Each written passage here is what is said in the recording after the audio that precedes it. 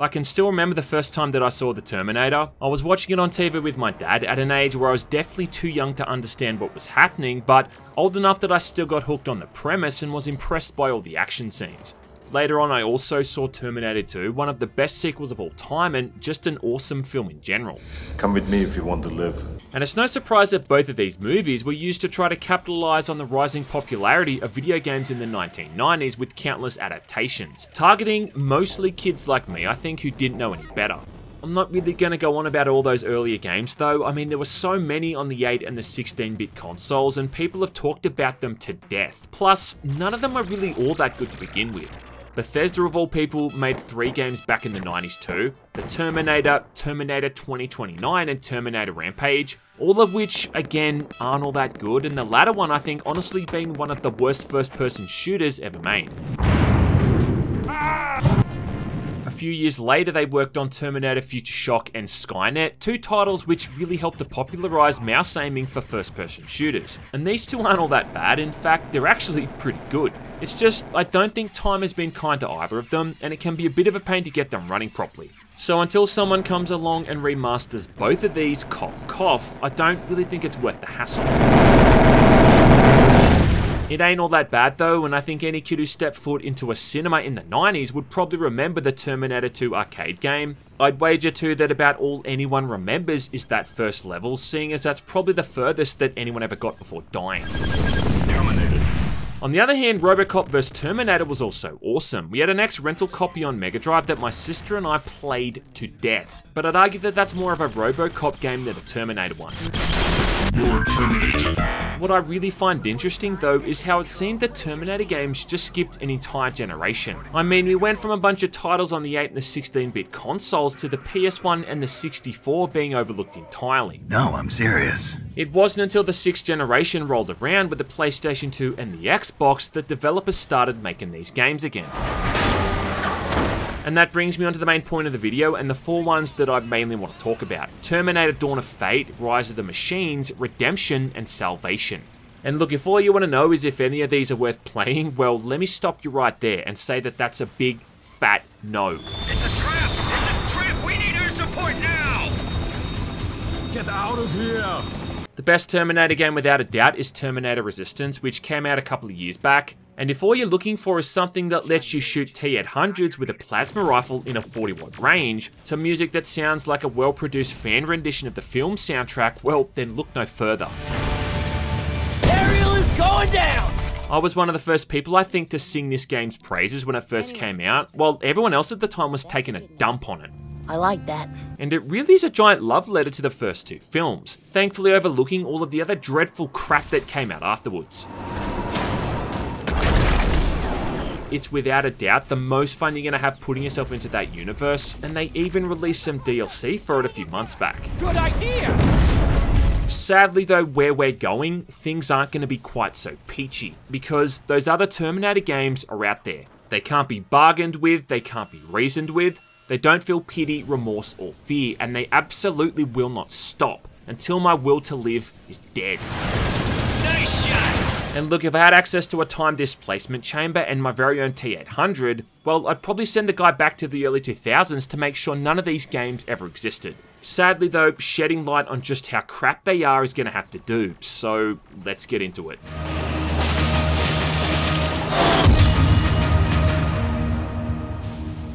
Right, so the first one we're going to be taking a look at is Terminator Dawn of Fate, developed by Paradigm Entertainment and released for the PlayStation 2 and the Xbox in 2002. And this one actually has a pretty cool concept, being a prequel story to the first film.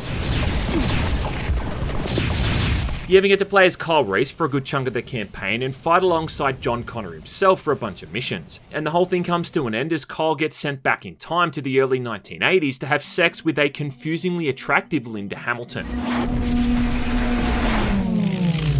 Only this thing has one very big problem right from the get-go, and that's because for some reason, someone thought that they'd make this game use fixed camera angles. Yeah, fixed camera angles, you know, in a game where you're constantly being shot at. Now look, I don't have anything against fixed camera perspectives and they can actually work pretty well at times. I mean, take the survival horror genre for instance. There's always something off-putting in those games about entering a room and then having the camera facing towards the player. Done as a means to heighten the tension and to make you unaware of your surroundings, and in a lot of cases, an immediate threat is often kept purposefully out of view, which then goes hand in hand with the whole horror aspect. But in an action game where you're constantly trading shots with other enemies, this camera style just flat out doesn't work. And you're gonna frequently get hit by attacks that you literally can't even see coming. More than that though, it just makes basic navigation kind of busted, as the direction you need to move the thumbstick changes each time the camera angle switches, just making basic navigation a chore. And when simply moving around the environment becomes a chore, well, you know someone's fucked up. Combat is mostly against various models of Terminators, that starts with variants looking like they've been made out of old soup tins and license plates, through to the tougher, more iconic T-800s, which are absolute sponges.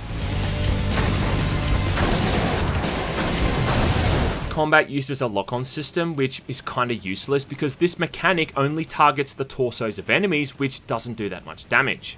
You can use an adrenaline mode which locks onto the heads instead, only this thing runs down faster than dollar bills do at your mother's ping pong show. So as a result, you're going to be using the first person aiming mode a fair bit here, which makes targeting heads and weak spots a hell of a lot easier. The only downside though is that it kind of turns you into a sitting duck, or a standing duck I guess, as you can't move from this viewpoint and you pretty much lose all of your situational awareness. And maybe that would matter, except the game gives you so many medkits that you almost have to want to die here. I was going to bitch about how the game only gives you a checkpoint like every 10 minutes, but then I thought it's kind of redundant, considering that you're walking around with a goddamn infirmary in your back pocket half the time. I don't think the combat's all bad though. There's this little handheld rocket launcher thing which kinda looks like the plasma cutter from the Dead Space games and this thing is all kinds of awesome. Plus there's just something about dual wielding automatic machine pistols that just tickles me right in the ball sack. The funny part is how the melee is actually more effective most of the time than using weapons. Yeah, you can swing this baton around and whack things with it, and I think that this thing is easily more effective than guns in certain areas. I think the main issue that Dawn of Fate has though is that it's just not very fun to play through. The enemies are just really tedious to fight and they're always in high numbers. Plus there's not really any way to avoid most of the attacks here so you just feel like you're tanking damage all of the time. The other enemy types aren't exactly brimming with creative juices either, like these drones that fly around and then send out these concussive blasts. I mean, yeah, that's fun. And there's also a bunch of tank enemies that take almost your entire ammo supply just to put down. Most of these I ended up just trying to run past when the game let me. Yeah, see if you spam the dodge roll, you can pretty much avoid all incoming damage during the animation, which is a godsend despite playing as different characters, they more or less all play exactly the same, and the gameplay is the same regardless too. Often you'll be trapped in a small area and have to defeat countless waves of the same two or three enemy types that just keep spawning in. And then once you finally destroyed an arbitrary number of these things, a nearby force field finally dissipates, letting you move onward. And it's really just scraping the bottom of that level design barrel with a rusty spoon.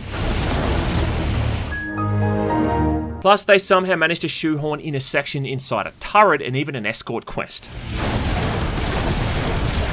You know what I really hate though, is how all the turrets in this game overheat if you fire them too much. The game is set at a point in time when machines have become self-aware and taken over the planet. We're using futuristic weapons and can time travel, but yeah, firing a machine gun for more than 5 seconds is some kind of impossible feat of engineering. give me a break. Later in the game, it's explained in a single line of dialogue that Skynet can now teleport in cyborgs to your location, which is really just a lame way the game trying to justify spawning enemies on top of you. Also, I think it doesn't make any sense how they're spawning inside time displacement bubbles. You know, I always thought those time displacement bubbles were for, you know, time displacement. Plus, I thought they said it could only teleport organic matter, which is why it only worked with the T-800s. I think Kyle Reese even says the same thing at one point. Something about the field generated by a living organism. Nothing dead will go. Yeah, he did. I was right. Even lazier though is how they just flat out recycle a couple of the missions, having you play them backwards from another character's perspective. Like at one point you're moving through this destroyed hotel with John and Kyle, and then right after that you're going back through it again as another character trying to level the building with a bombs expert. A bombs expert whose name is Private B Last. Yeah, alright, I have to admit that that's so stupid it's actually kind of funny. They also reused the same boss fight twice throughout the game against a large tank, once early on in the same hotel level, and then again near the end of the campaign. And both times all it does is just kind of park itself in a single spot, making itself an easy target. And you know, all I can think of when I see this kind of stuff in video games is do the developers really think that people don't pick up on this? I mean, when they just flat out reuse an environment like this, room for room, do they really think that they're pulling the wool over the player's eyes or something? Or do they just give so little of a shit that they've got no shame? The story in this is also pretty damn stupid, coming across as poorly written fanfiction. This game makes the mistake that pretty much every movie after Terminator 2 made, which is going into way too much detail into the future wars and how everything works. Never mind. Hey, look, you want to know why those scenes in the first two movies were so awesome? Because they didn't need to explain every little thing. You only saw these brief glimpses into this nightmarish future, and that's all you really needed to perfectly understand the kind of reality that these guys were coming from, and the horrible fate that humanity would suffer if they failed. And it's just a perfect example of less being more spending five hours long running around all these futuristic environments as Kyle Reese is kinda cool, you know, for the first couple of hours, but then it just becomes another shitty third person shooter with bad controls, crappy level design, and a stupid story.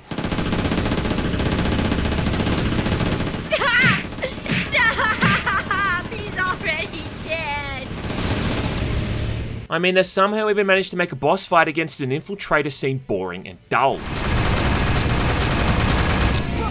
The dumbest thing in the game, though, has to be these Skynet initiates, which are humans who are trying to defect over to the machines. This to me is just so lame in concept, and there's no real reason that Skynet would ever want to create these human hybrids, especially these dumb looking assholes that look like the Borg from Star Trek. The idea of humans wanting to be turned into robots is kind of far fetched, or you know what, maybe it's not. I mean, we live in an age where guys jack off to the side of a woman's feet, so who knows, man. There's a whole backstory here about this faction being led by an ex-TechCom soldier, but it's really just not very interesting. One sick, twisted bastard, Stone. Really, gameplay wise, these guys are just the same as a reskin Terminator. You still deal with them in the exact same way, waiting for them to walk into whatever room you're in before shooting them in the face. Oh They don't have different tactics or anything. I mean, you think that maybe they'd be more mobile or something, but they pretty much just walk slowly towards you until they're killed. But you want to know what the worst thing in this game is, though? And no, it ain't the visuals, although, yeah, they're pretty crappy too. It's the music. I mean, just listen to it.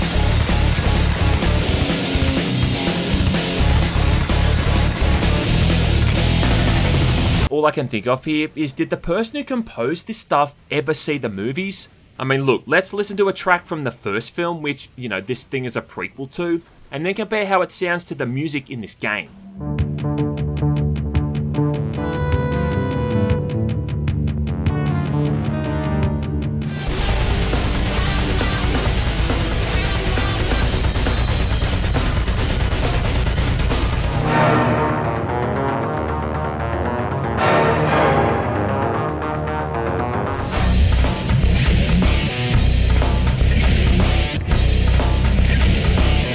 Well, that was fucking dreadful. I mean, the whole thing just sounds so out of place. It'd be like putting trance music into Casablanca. A running theme you're going to be seeing in these videos is how the games always end in these crappy Skynet themed levels, and Dawn of Fate is the first one to get the ball rolling, ending in a lengthy series of missions inside these never ending gauntlets of metallic hallways, providing no cover from incoming fire as enemies constantly appear around you. For the final encounter, you've got to destroy three incredibly spongy mini-bosses called Guardians, before then trying to destroy the Skynet mainframe before it can mind control Kyle. And the whole thing is about as fun as plucking out the hairs from your asshole. But I guess you know what, if nothing else, when the whole thing is said and done, you can at least have some sense of accomplishment, successfully sending Kyle back to the past to play the shitty games that suck ass. I mean, that event, after all, is the whole catalyst for the movies. Kyle goes back and bangs Sarah. Sarah gives birth to John. John is protected by the T800 against the T1000, preventing Judgment Day. Then John goes off the rails and becomes addicted to meth and prescription drugs. And that's what it's all about, right? Time. Time is a valuable thing. Watch it fly by as the pendulum swings. Watch it count down to the end of the day. The clock ticks life away. Hard to believe. So I mean, look man, if they're going to do a game based off any part of the franchise, well, I'm at least glad they chose to do it off the events that kicked the whole thing off. I don't know man, I don't know, I'm just looking for things to be positive about, alright? What's interesting is that this ended up being one of the last games that Paradigm Entertainment ever made, which is another theme you're going to see throughout this video, because it just seemed that making a Terminator game was like the kiss of death for these studios. I guess you could almost say that making a Terminator game terminated these developers. You're terminated, fucker.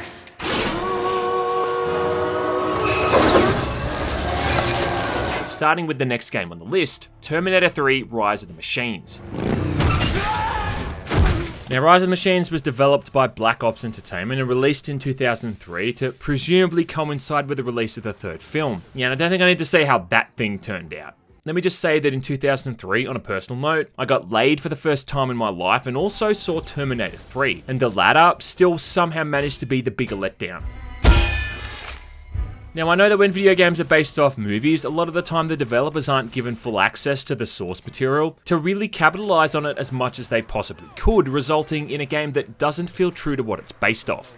Only that wasn't the case here, and apparently Stan Winston himself helped out with the team getting their hands on the art and designs from the film. Plus, they even got Arnie himself to come in and do all the voice work and even film exclusive scenes, which makes it even more impressive than considering how bad they fucked the whole thing up. Connor, it is time. It's like giving someone a hammer, a nail, and a plank of wood and asking them to nail it to the wall. And then you come back five minutes later and they've instead put the nail through their thumb and snapped that plank in half. Rise of the Machines continues that long line of video games based off movies being complete and utter dog shit. And funnily enough, I think the times it strays away from the movie scenes are when it's the most fun. It's when it tries to recreate the movie that it starts to lose its way. So the game starts off during the Future Wars, playing as the reprogrammed T-850 after it's just assassinated John Connor. It's now been put to use to help the Resistance, and right away you're getting shot at and have to be put to work carrying out orders. Combat again functions a bit like Dawn of Fate, where you've got a handy lock-on button to target nearby enemies, requiring little more than just the basic coordination of also pressing the shoot button at the same time. Lock and load. Only thing is though, I think that auto aim actually makes sense now. Simply because this time you're playing as a cyborg with highly advanced artificial intelligence, so it makes sense that you're able to have this pinpoint accuracy. Here they come. Remember that scene in the second movie where the T-800 goes outside with the minigun and just empties a bazillion rounds at all those cops without managing to wound a single one of them? Yeah, well, that's the kind of stone cold machine like efficiency you're working with here, and simply holding down that lock on button's gonna snap to the nearest enemy and then send all your shots in their direction. Well, most of the time. Target destroyed. Most of the weapons are just crappy looking energy guns, a lot of which share the exact same ammo type, Lock and load. but most of the sound work is actually faithful to the movie, so it's at least got that going for it. You've also got like a plasma machine gun, which as far as I can tell is just a reskin Browning machine gun. And the rocket launcher in this thing also kicks all kinds of ass. It's like something out of a Borderlands game, with this revolver style chamber that can fire six rockets before needing to reload. And look, I don't think I need to explain the virtues of being able to shoot six rockets so quickly. Rocket launcher. I think the problem is that, again, all of this crap just goes on for far too long. It's not really all that challenging either, so it just kind of feels like you're moving through these levels in autopilot mode until you hit the next loading screen. There's a one-on-one fight here against another T-850, which serves as more of an introduction to the awful melee combat, which I'll get into soon enough. It's all just really trying to develop the backstory for what happened before the T-850 arrived in Los Angeles and took part in what has to be the most embarrassing scene in any of the Terminator films so far. Talk to the hand. Notice I said so far because I just know that at some point in the future they're sure to outdo themselves in whatever crappy new Terminator film they cough up next. Now. Well, that was fucking dreadful. From the point you show up in LA is when it just starts recreating all of these scenes from the movies, poorly I might add, and some of these just don't really translate all that well into actual gameplay.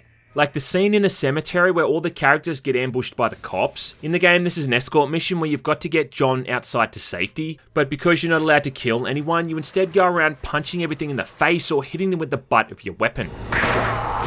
Then when you're topside moving through the grounds, you've got to shoot all these cars to prevent anyone from chasing you. And that's just a matter of walking around and shooting at the same looking stationary vehicles for 5 minutes.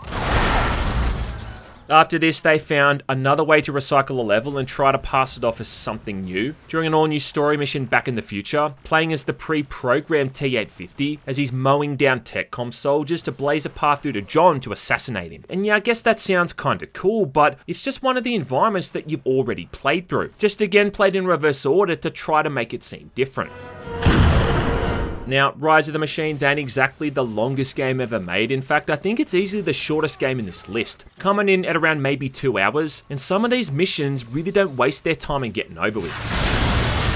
Like the mission where you're trying to find John for the first time, you walk through this animal hospital for all of 15 seconds before then finding him in a cage, and then bam, mission over. Later in the campaign, and by later I mean 10 minutes later, when you've made it to NORAD as Skynet starts to become self-aware, you blast through this series of levels inside the building in literally a matter of minutes. What may or may not take the most time here is fighting the TX because it seems from this point it's almost kind of like a boss rush, and every second level, if not every level, you're having to fight her in one way or another.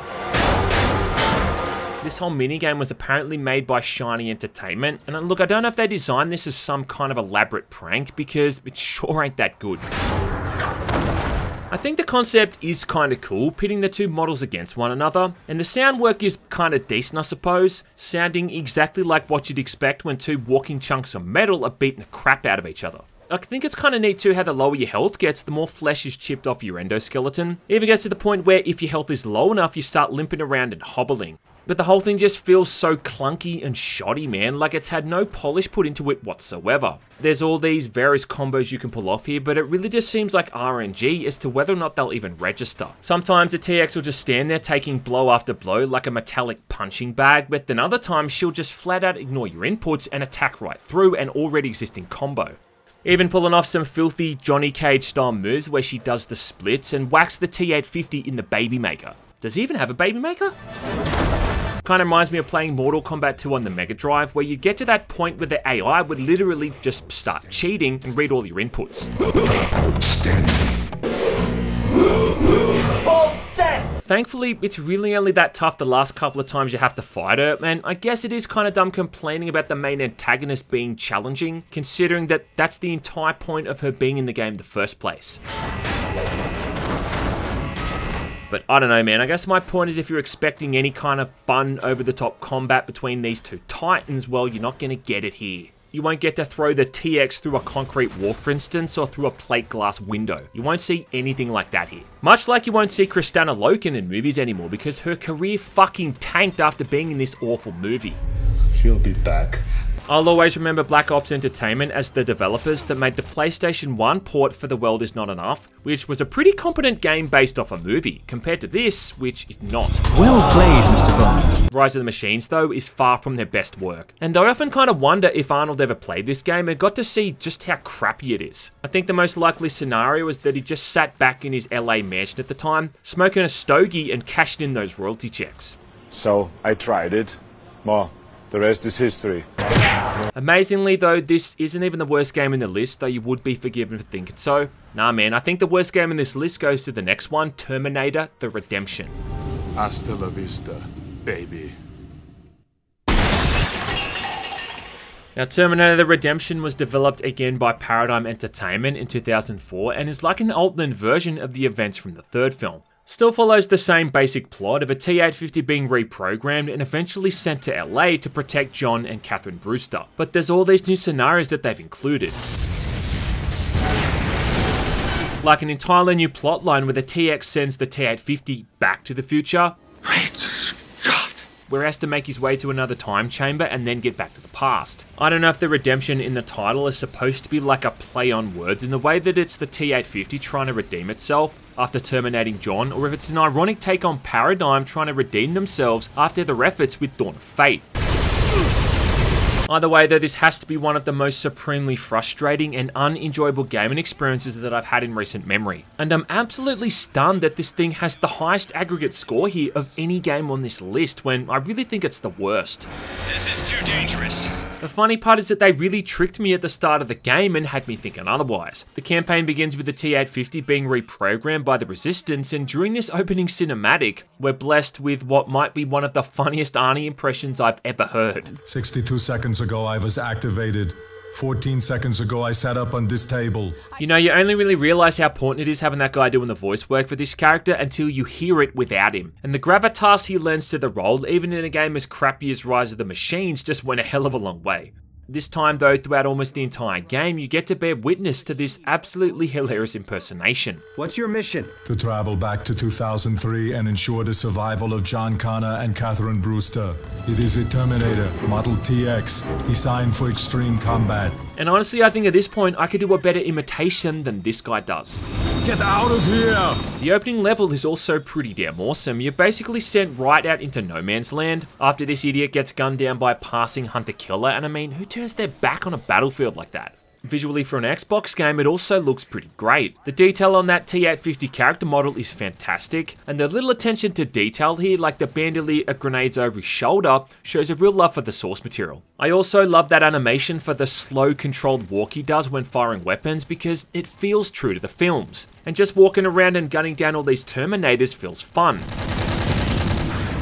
Shortly after that, you hop on a turret, and it has this really awesome mechanic where if enemies sneak up behind you, you can press the X button and throw them in front of you like a goddamn ragdoll. It introduces two of the main game's mechanics, which is the scanning system, that iconic Terminator Vision mode, which in Redemption increases the damage you do to enemies for a period of time.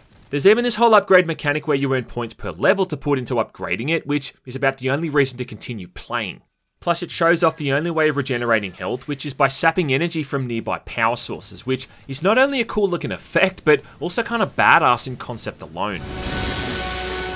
Anyway, after the turret section, you're then on the back of a vehicle chasing after a Skynet ship that's trying to escape. And from this point on, you can even leap from vehicle to vehicle, throwing away the discarded one like it's a piece of trash. If you run into Terminators along the road, they'll even attempt to pull themselves up onto whatever you're driving, so you need to press the X button again to deal with them, which again is just such a fun idea.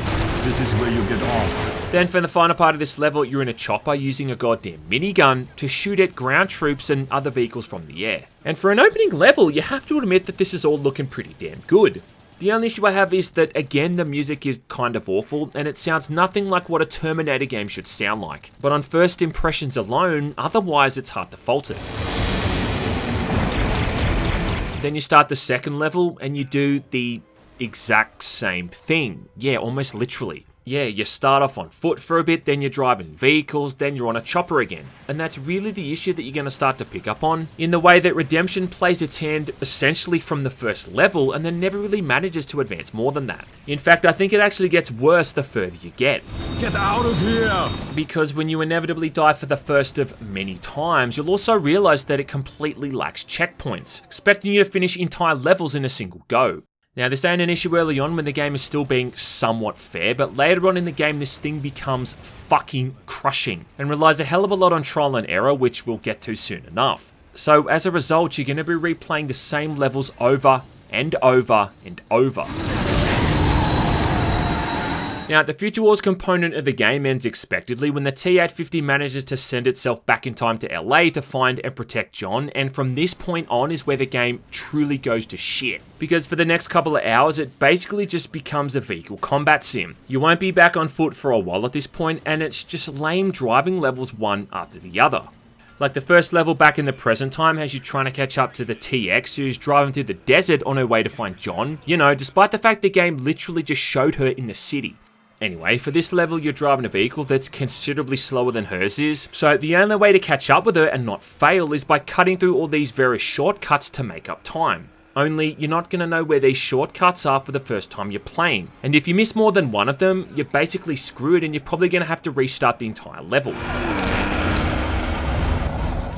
It becomes this incredibly annoying process of trial and error, making it that little bit further before missing the next correct path you were supposed to take, failing, restarting, and then trying again. Slowly piecing together this intended route that the game wants you to take. Whoa, what the hell? I mean, the entire chase might only go on for like 3 or 4 minutes, but you'll spend easily upwards of 30 trying to memorize the correct route. And you know what really chafes my willy is that every time you fail, you've got to sit through the same cinematic and navigate through the upgrade screen. You can't just simply hit the restart button and be back in the vehicle. Affirmative. Next level, you're on a police bike chasing after the TX again, this time as she's driving a truck, and possessing police vehicles to try to mess with you. Now you've got to shoot out the four tires of the truck to make it swerve and lose control so she can't catch up to John, and this is again something which is going to take a fair few attempts.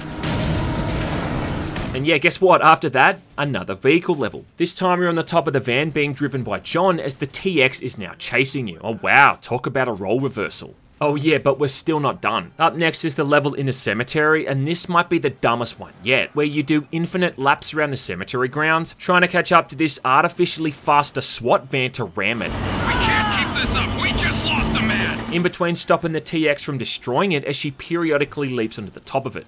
And because a giant armored SWAT van is somehow faster than your hearse, you have to use all these various shortcuts along the way to try to head off the van and ram it. And look, I know it's a video game and it's not real life, you know, that much is abundantly clear, but I just really hate stuff like this in video games. You can outright see the van pulling away from you in this really cheap fashion at times, and it just makes the whole level so infuriating. We can't keep this up. We just lost a man. I guess Paradigm really wanted to get their money's worth out of that hearse model because they used it again for the next level, this time as you're trying to escape from the TX. Again. And the only way to stop her from destroying your vehicle is by swerving left and right and then grinding her into the guardrails on the side of the road. You know, a couple of dozen times. Ride her along the rail. Then for the end of this level, she hops into a chopper, which just makes her a slightly more mobile target as she possesses a bunch of vehicles to try to ram you off the road. What also kind of weirded me out at this point was how the cinematics would frequently go from live action back to CGI, which I just found completely jarring, along with how the game then also suddenly switched gears and sent me back to the future for these new levels. And this right here, folks, is the worst the game gets. If nothing else, at least you're finally back on foot for once shooting T-800s with a plasma rifle, which honestly is all I ever wanted to do to begin with. Fantastic. But it again follows that stupid formula from the opening levels, and you're only shooting things for all of 90 seconds before then again sitting through these incredibly repetitive, long and drawn out vehicle sequences. I mean, this level might introduce these new environmental hazards that you need to avoid, but it doesn't really add anything all that new. You still just hold down the fire button and drive in a single direction until the whole thing comes to an end. Even the side of the T-850 hijacking a goddamn tank and grabbing the cannon with his bare hands to then fire on platoons of T-900s just feels lame and boring. And at this point, if you don't know about the melee combos which restore your energy, well, I don't think you're even able to get past these levels at all.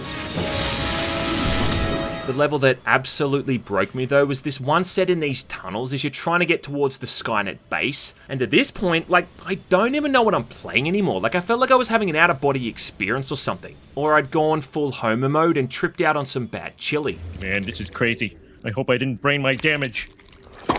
Kind of reminds me of the Death Star run from the end of Return of the Jedi. You're all clear, kid. Now let's blow this thing and go home. Oh, wait, that's episode 4. Fuck. For this level, you're navigating through the intestinal tract of this giant structure, avoiding constant hazards and obstacles. And again, there's not really any skill to any of it because you're not going to possibly know what lies ahead, so it becomes a matter of just replaying the level over and over, dying repeatedly to chip away at it and become familiar with the layout. And it makes the turbo tunnel in Battletoads seem like playing hopscotch in comparison. Honestly, I got so annoyed at playing this level that I went to punch my couch in anger, and I somehow missed the cushion and hit this wooden bit underneath it, causing my knuckle to swell up to the size of a goddamn golf ball. And it just encapsulates how annoying this game is, a game which has no consideration for the player's time, expecting you to get through these slogfest levels in a single attempt. Chill out. Dickwad. I was reading too that apparently the devs wanted to include time limits for every single mission, but I guess common sense prevailed and they decided to remove it. So maybe I shouldn't judge this thing too harshly considering how bad it truly could have been. Piece of cake. Now I know I talked a lot of shit about Dawn of Fate, but at least they were decent enough to give you checkpoints here and there. Somehow with Redemption though, we've regressed back to the point that even that basic quality of life inclusion is somehow overlooked. I don't know if the ensuing levels were actually any easier or just been mind broken at that point, but shortly after finding your way to another time machine, you arrive back in the present, just in time to save John and Catherine from the TX, and I just found these sections much easier. Then the final boss fight isn't even really a final boss fight, you've just got to hold the TX off for a bit by destroying a bunch more possessed vehicles, which is a mechanic they've now reused, what, like half a dozen times? And then stagger her with missiles before finally being able to see her finished off in a cinematic you have no control over. Game over. At least in Rise of the Machines, you got to beat that bitch like a Cherokee drum with your own hands, and even Dawn of Fate had a proper end boss fight that you had to shoot at. So I think for those reasons and the multitude of others I listed here, this makes Redemption the worst game by far. That's great. See, you're getting it. And it's kind of a shame because you can really see the potential that this whole thing had. The moments when you're on a plasma turret shooting down hunter killers or leapfrogging onto the back of Skynet vehicles to jack in are just awesome. Even those brief moments where you can unleash combos on the T900s and grab their weapons out of their hands are just fantastic. And you can tell the people who worked on this thing are definitely fans of the movies.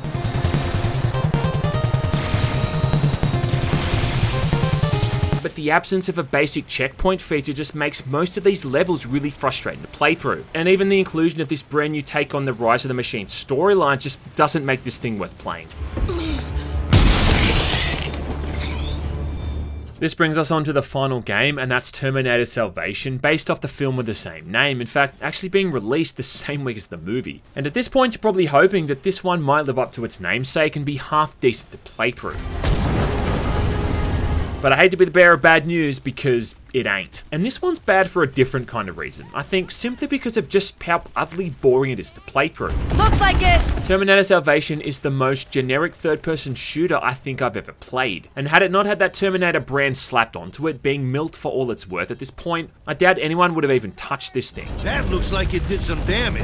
I don't know what the general consensus is with the movie at this point. I know people on the internet have this habit of suddenly acting like something that's always been bad is now simply good because enough time has passed. But all I know is, is that I thought the movie sucked. I saw it in the cinemas with my mate at the time and we both hated it, having to bury our sorrows right afterwards with a heavy ingestion of alcohol. So before I even violated my Xbox 360 by loading this thing up, my expectations were already at rock bottom, and yet I was still disappointed. Don't sweat it, darling. My boys are on it. This one was developed by a company called Grin, the keyword here being was because this is yet again another Terminator game that ironically terminated an entire dev team. In the same way the recent films terminate the credibility of anyone who says they like them. The only other thing these guys made that was ever really all that noteworthy was the PC port for Ghost Recon Advanced Warfighter, which is without a doubt the worst version of that game that ever got released. And that's kind of what Salvation feels like at times. It's almost like a tactical shooter, only missing the tactical aspect or anything really remotely interesting. So the game, much like the film, has you playing as John Connor, only this time it's in an alternate future where John didn't go on to lead the resistance against Skynet, instead being not much more than just a lowly grunt. Blair, I want you and Connor to focus on shooting it down. Got any extra RPGs lying around? After a brief prologue, which really goes nowhere, John suddenly decides to veer days off course to find and rescue a squad of three that's stuck out in no man's land under heavy attack. And let's just analyze this right off the bat, right? The so-called brilliant military leader who would go on to lead the final push against Skynet decides to just head off by himself into a wasteland filled with cyborgs to rescue a small group of soldiers who may not even be alive by the time he gets there, if he even finds them. What are you doing, John? Taking some responsibility. Seems a bunch of voice actors also lent their voice talents here, aside from Christian Bale though, who I guess had the good sense to stay as far away from this thing as possible. Why are you talking like this? The guy playing Connor though kind of sounds like he's doing a bad Bale impression, only it's not nearly as fun to listen to as the Arnold one from Redemption was. Now, I do think visually the world does look kind of interesting, even if it is the most Unreal Engine 3 looking game I've ever seen, which is kind of odd for me to say considering it doesn't even run on the Unreal 3 engine.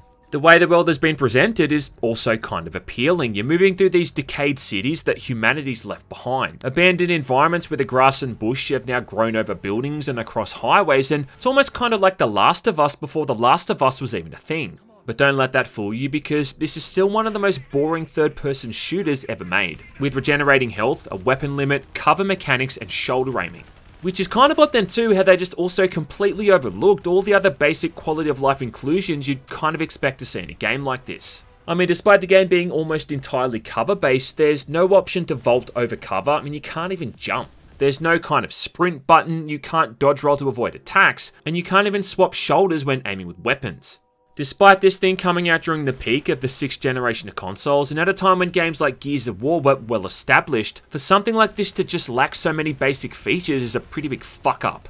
Add in things like aiming acceleration and that regenerating health that takes a dog's age, and you've got the strawberries and cream on this giant shit pie. But the worst thing is the enemy variety or the absolute lack thereof, because throughout the entire game, you're really only going to be fighting the same two or three enemies. You're either fighting these flying drone things which zip all over the place, making the shotgun essential to take them out. Then there's these spider robots which are heavily armored from the front but have a huge design flaw in the way that their power core is completely exposed from the back and can be shot at. I mean that's like putting a doggy door on the back of a Sherman tank. These enemies piss me off the most though because it seems like you're always fighting a bunch of them during almost every single encounter and they've very clearly been designed around co-op play if you've somehow managed to get a second person to play through this with you, either by holding their family hostage or holding a gun to their genitals, well, then I'd imagine it'd be a piece of piss with one player distracting them while the other player goes for the kill. However, if you're a pathetic loser like I am and you're playing solo, you've instead got to rely on the AI to do that for you, and the game doesn't always take that into consideration. And this might be fine if they only ever showed up every now and then, but like I said, you fight these stupid things almost every single time you're in combat. So it becomes this very boring combat loop of using a shotgun to take out the drones, as it's by far the most effective means, and then playing peekaboo with an assault rifle to take out these spiders. Yeah, not leaving much room for the other weapons, you know, the remaining three of them. Yeah, that's right, this game has five weapons in total. Five. Count them a shotgun, assault rifle, the machine gun, a grenade launcher, and an RPG.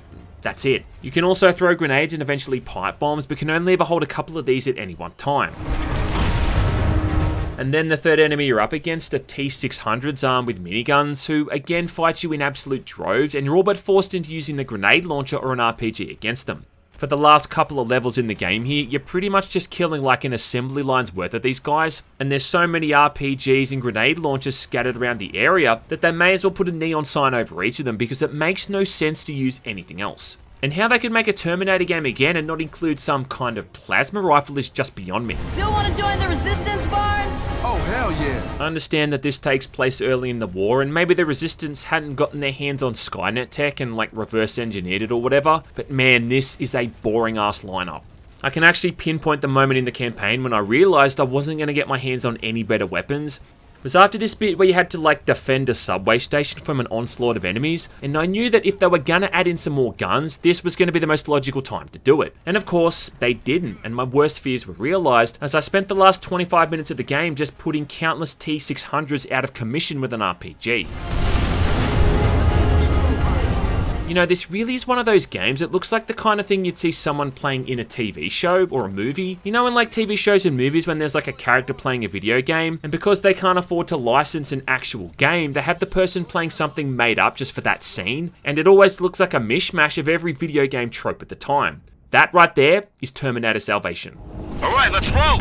It's just so uninspired and it doesn't do anything you haven't seen before. Come on, Connor. Crush him. Like having to take out a hunter killer with an RPG twice, and I mean, how many shooters have you played that require you to shoot down an aircraft with a rocket launcher? Or just countless instances when you're on the back of like a jeep or something, firing a turret at an endless swarm of enemies in constant pursuit. And of course, the turret has to have that stupid ass mechanic where it overheats if you fire it too much. And again, can I just go on the record saying here how much I fucking hate this mechanic? Out! The cinematics are sloppy and boring to watch with really crappy animations and even worse voice acting. And yeah, I love this one too, how John sticks his hand to his head when he's supposed to be using his earpiece. You know, it's like they didn't even bother to double check any of this stuff. Finally, there's no collectibles, there's no unlockables, and outside of the co-op mode, there's no reason to ever want to replay this thing. Outside of just showing it to your therapist to explain what you went through, or using it for some kind of elaborate torture routine at a CIA black site. Give them credit in one regard though, and that's that the music is actually pretty good. One point, I think I even heard that T-1000 motive from the second film.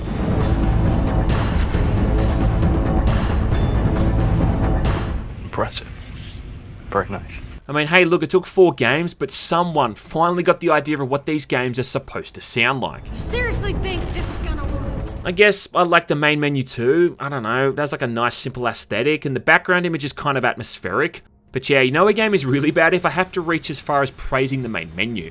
I mean, look, Salvation isn't anywhere near as painful to play through as some of these other games were, and it is like a respite after suffering through redemption. But it really is just another lackluster movie video game tie-in, one of the dozens that have come and gone without much of a fuss. And at least it is kind enough to not waste too much of my time, able to be beaten in a couple of hours. It's about all you can expect for a game based off a crappy movie, and it really wasn't ever going to go any other way. But it still deserves to join the others at the bottom of a lead smelting pit, that's for damn sure.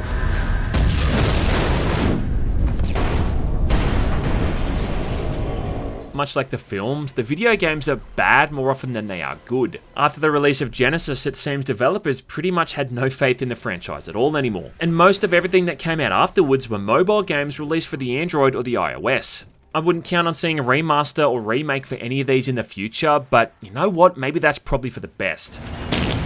I still say that if you're after the most authentic feeling, true to the source material experience you can get, well, Terminator Resistance is your best bet. Resistance has got a dope soundtrack, a fun campaign, and it's incredibly faithful to the lore from the films. Plus, it won't leave you with a swollen knuckle from punching your couch in anger. I just hope if Arnie ever comes back to lend his voice talents to any more Terminator games before he goes off to that Gold's Gym in the sky, that it's for something as honed as Terminator Resistance is and not any of these other abominations I talked about in the video because I just don't know at this point if I'd have the energy to cover another one.